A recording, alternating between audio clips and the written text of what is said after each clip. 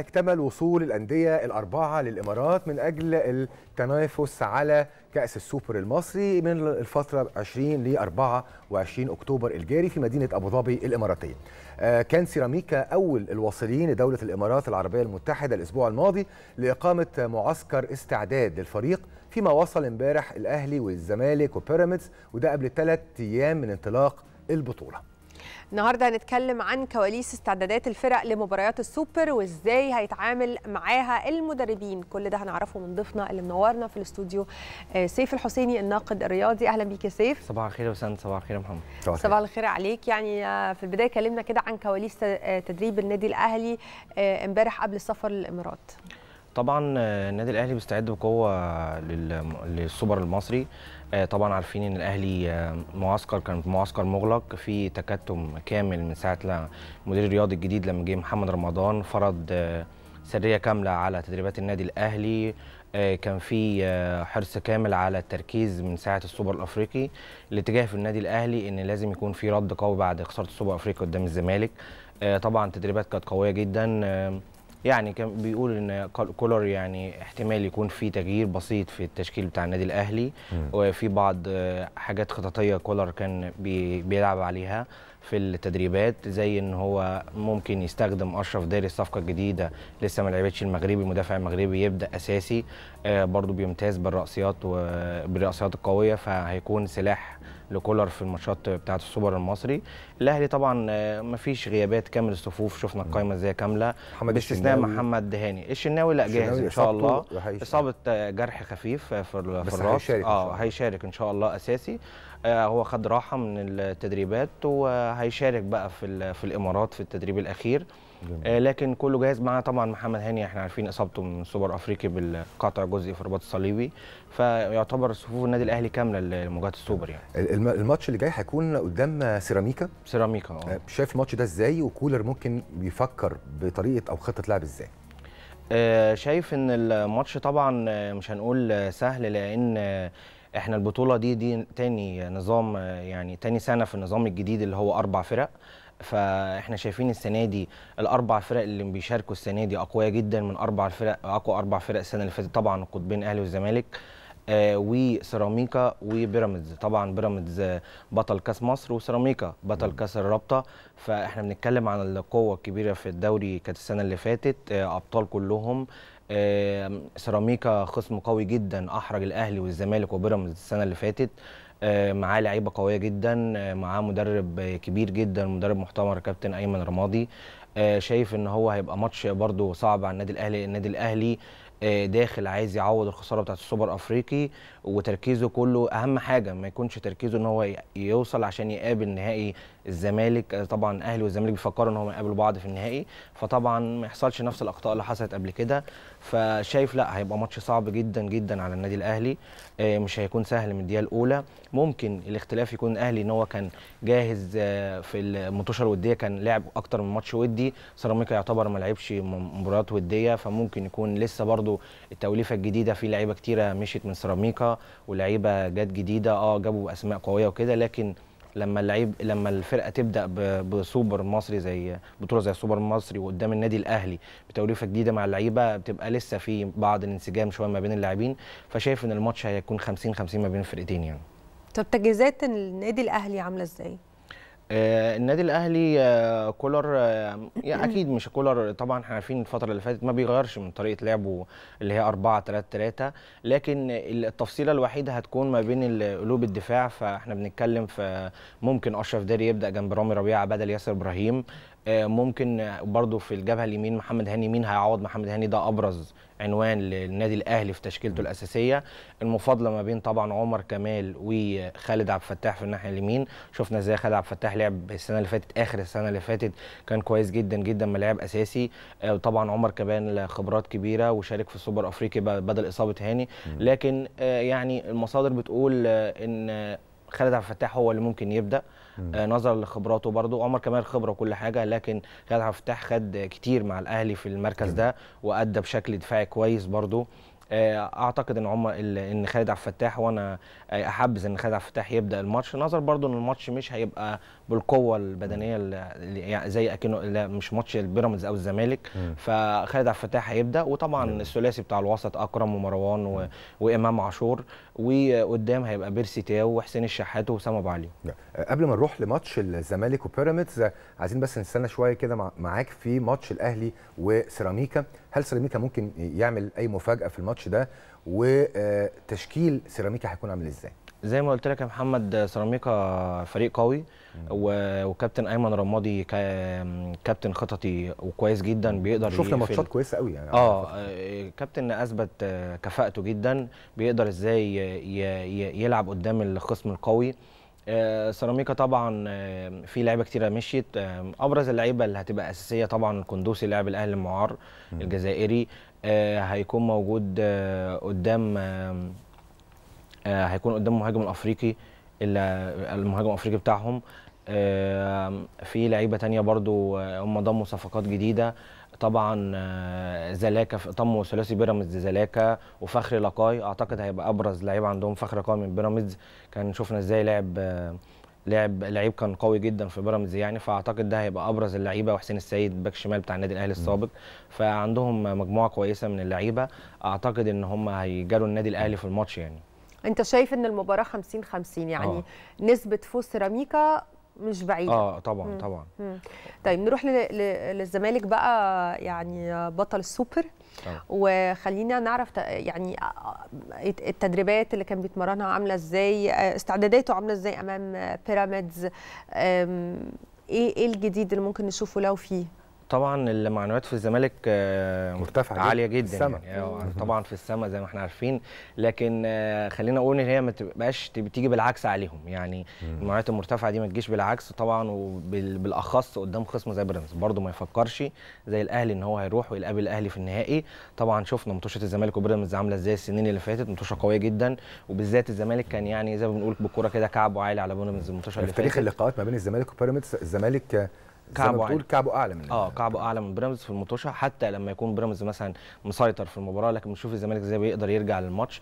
آه الزمالك استعداداته ما كانتش أفضل حاجة. بس شفنا إزاي في المطوشة الودية خسر وتعادل ما كسبش في المطوشة الودية اللي هو لعبها.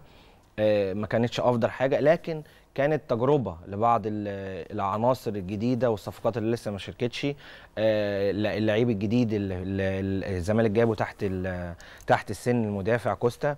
ده ممكن يكون مفاجأة آه، جوميز في التشكيل آه، ممكن يلعب بدال حمزة المسلوسي أو حسام عبد المجيد في خط الدفاع. طبعا كان في راحة للدوليين زي آه، محمد شحاتة و- وطبعا دونجا. دونجا هيغيب ده برده من نبيل عماد دونجا هيغيب يعني عشان لا لا هيغيب, هيغيب. بشكل هيغيب. كبير آه، بشكل هيبقى في 90% غياب. هيغيب. وهيعوضه محمد شحاتة في النص. هيكون مكانه إيه بقى؟ مين اللي هينزل مكانه؟ آه هيكون محمد شحاتة. محمد شحاتة هيبدأ في النص. وكده كده الزمالك بيلعب بعمر جابر back يمين زي في السوبر أفريقي.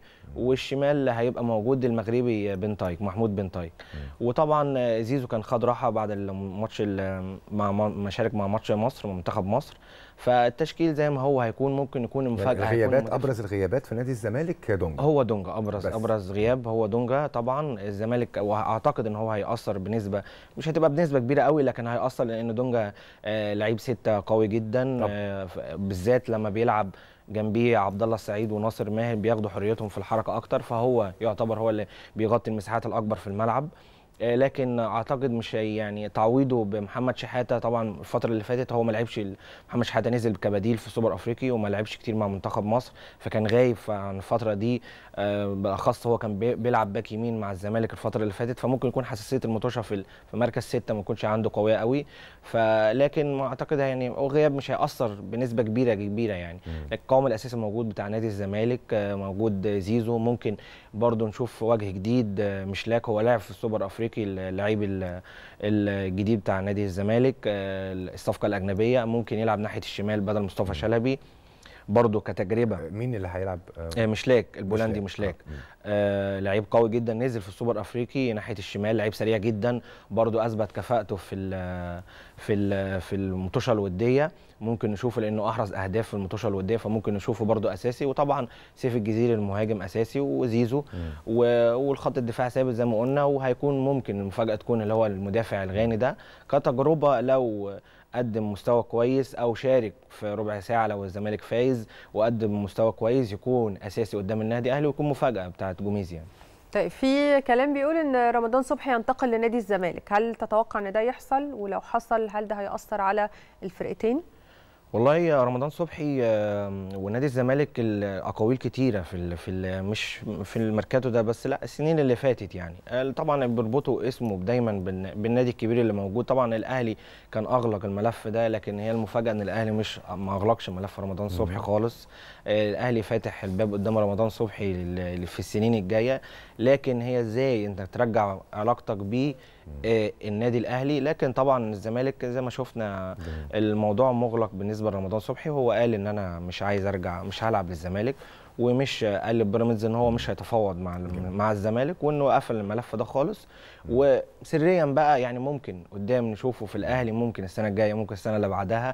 لكن لو يعني عمل تصالح مع الجماهير بشكل بشكل يعني يليق. آه، تتوقع سيف مين هيكون في حراسة المرمى للزمالك آه، صبحي ولا عواد؟ هو صبحي شارك مع الزمالك وجاهز فنيا. لكن أتوقع إن جوميز آه، هيستمر بعواد بعواد. بعد تألقه في سوبر افريقيا يعني. آه، بيراميدز بقى الناحية الثانية شايف آه، ال- الصفقات الجديدة اللي موجودة في فريق آه، بيراميدز والتشكيل وهيلعب إزاي قدام الزمالك آه، صراحة بيراميدز آه، الصفقات اللي عملها جديدة آم، خلت السكواد بتاعه أقوى بكتير جدا من السنة اللي فاتت آه، إضافات قوية جدا جدا جدا أبرزهم آه، يعني خلينا نقول إن صديق أجولا هو أبرز صفقة لنادي البيراميدز. كان مكسب كبير مجدي. آه مكسب كبير جدا لأن هو كان رايح نادي الزمالك لكن بيراميدز قدر يخطف الصفقة. لعيب قوي جدا جدا جدا. بيلعب جناح وبيلعب على الجناحين وبيلعب مهاجم.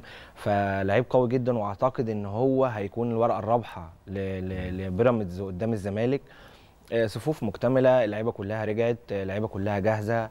آه، رمضان صبحي صديق جول عبد الرحمن مجدي لاعب إسماعيلي اللي مصطفى فتحي. آه، يعني squad قوي جدا جدا جدا في الملعب. آه، حتى لو اللي في الملعب آه، اللي ال 11 اللي بدأ في 3 4 مش خارج خارج الخدمة ممكن اللي ينزل أسامي أقوى من اللي موجودة في ال- في الملعب أصلا. فلا شايف آه، مهمة الزمالك هتكون صعبة جدا بالذات بال squad. طبعا بيراميدز كان في معسكر آه، تحضيري في تركيا ولعب متوشة وفاز ماتش 18 0 ف... فالموضوع بالنسبة لهم آه، اللعيبة كلها جاهزة اللعيبة كلها شاركت كل المدرب بتاعهم الكرواتي استقر على يعتبر على نسبة كبيرة من التشكيل صحيح. آه، استقر شاف على كل اللعيبة كل اللعيبة جاهزة. فأعتقد إن بيراميدز داخل يعني السوبر المصري بكل قوة عايز برضو يضيف بطولة جديدة ليه. زي ما هو خد كأس مصر كانت أول بطولة فهو عايز يبقى دي بداية البطولات ليه فليه لأ؟ طبعا الزمالك آه، يعني خصم خلاص بقت ماتش قمة زيه زي الأهلي والزمالك. فأعتقد إن برضه هتبقى النسبة 50 50 ما بين بيراميدز والزمالك.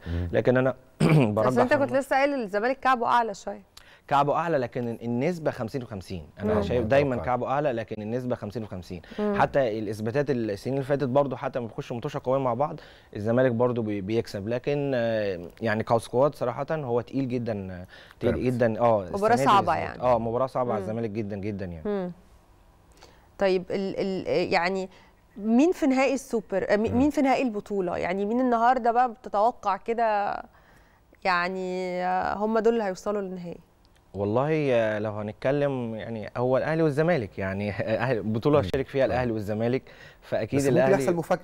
أكيد. يعني إحنا ممكن ما نشوفش الأهلي والزمالك إحنا عايزين. الأهلي ما أقدرش أحسن إن أنا أقول ممكن ما نشوفش الأهلي والزمالك. فده ده اللي المفروض يوصل للعيبة إن هم لا لا لازم يكون في تركيز آه، ما ينفعش نسبق الأحداث بسرعة آه، ويتعلموا من الدرس اللي زي ما شفنا في السوبر أفريقي آه، بس بيراميدز يتخاف منه. إيه طبعا أكيد أكيد مم. أكيد بيراميدز خصم قوي بالذات بيراميدز كان خصم عنيف جدا السنين اللي فاتت وبالأخص السنة اللي فاتت. السنة اللي فاتت بيراميدز كان من أصعب الخصوم على النادي الأهلي بالأخص.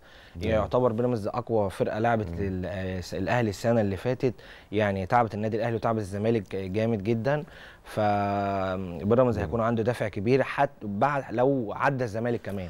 فإن هو يخش قدام الأهلي لو عدى الزمالك فده هيكون دفع أكبر ليه إن هو ياخد البطولة. جميل. طب نروح بقى لل- لل- للمشهد نفسه في أبو ظبي. إحنا بنتكلم البطولة من آه، آه، 20 ل 24 أربع أيام. السوبر آه، شايف إزاي التنظيم والاستعدادات الخاصة لانطلاقها؟ طبعا آه، أبو ظبي مش مش جديد عليها تنظيم السوبر. شوف التنظيم بتاعها رائع إزاي والاستقبال كان عامل إزاي. شيء جميل جدا. الاستادات طبعا آه، والجمهور كمان هناك. جميلة. آه والجمهور طبعا الجمهور المصري دايما في الدول. العربية. بالأخص السعودية والإمارات بيبقى بجمهور كبير جدا. ونشوف الحضور ودي دي كانت بتبقى أحسن حاجة دايما. آه، برضو المنظمين المصريين بي بي دايما بيأكدوا عليها إنه لأ هنلعب في السعودية أو الامارات ضامنين الجمهور ال- الحشد الجماهيري اللي موجود القوي جدا. تنظيم رائع جدا. آه، طبعا يعني البطولة هتبقى أحلى كمان آه، خصوصا أربع فرق أربع فرق أسامي كبيرة فهيكون في تنافسية هنشوف كبيرة. تهديف آه هنشوف وهنشوف. تنافسية كبيرة. وكمان آه، التنظيم السنة دي مختلف إن في آه، ال- ال- الفرق مش هت- هتمشي اللي هيخسر مش هيمشي لأن في ثالث ورابع. اليوم اللي في النص قبل النهائي هيبقى فيه ثالث ورابع اللي هو يوم 24 فكل فرقة هتلعب وهيبقى في جماهيرية موجودة حاض- حاضرة وهيبقى في حضور للثالث والرابع برضه. لو في حالة يعني لو في حالة خسارة الأهلي والزمالك فبرضه لازم الج- الجماهير هتشوف فرقها في مركز الثالث والرابع في في الماتش بتاع الثالث والرابع وفي النهائي طبعا. إحنا الجميل والمبسوطين منه إن إحنا مش هنعتمد بس على أهلي وزمالك أو مم. إنه أهلي بس هو اللي بيكسب. ده. النهارده في آه، الزمالك خد البطولة السوبر في منافسة قوية ما بين الفرق المصرية وده دي الكورة اللي إحنا عايزين نشوفها طبعاً، في الأول وفي. الآخر. وده ال- ال- التنوع بقى اللي الجماهير عايزين آه، يتابعوه آه، في الماتشات. زي أكيد. ما إحنا كده بنقعد نتفرج على آه، دوريات مختلفة ونقعد نبقى مبسوطين بلعبهم. النهارده قادرين نشوف ده في الكورة المصرية ودي أحلى حاجة. أكيد. آه، يعني كل التوفيق للفرق المصرية المشاركة. طبعاً. وبنشكرك يا سيف سيف. الحسيني الناقد الرياضي. كل الشكر شكرا. نورتنا يا سيف. الله يخليك.